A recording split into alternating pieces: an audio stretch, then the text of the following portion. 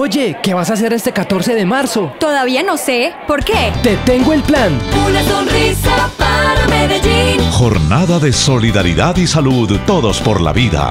Este 14 de marzo, únete y sonríele a tu ciudad. Habrá promoción de la salud y muchas cosas más. Toda la información en www.unac.edu.co. ¡Vamos! ¡Vamos todos! Una sonrisa para Medellín. Organiza Corporación Universitaria Adventista.